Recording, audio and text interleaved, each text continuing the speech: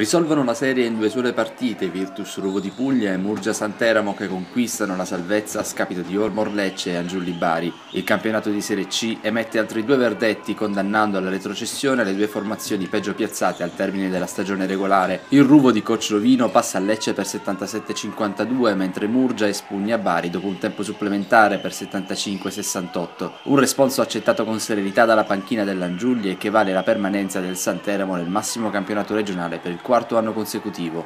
La partita ha dimostrato sicuramente che le due squadre si possono equivalere eh, da un punto di vista del campo, eh, tecnicamente abbiamo dimostrato sicuramente qualcosa in più, però purtroppo un po' il cuore ci ha penalizzato e abbiamo comunque sia portato un tempo supplementare per arrivare quasi alla vittoria, ma purtroppo l'abbiamo dovuta lasciare alla, alla squadra avversaria, meritatamente al Santeramo. Ah, penso che questo sia un risultato positivo per la nostra società, soprattutto perché raggiunto con ragazzi tutti quanti di, di Santeramo che hanno avuto la possibilità di crescere e di maturare molto in questa stagione.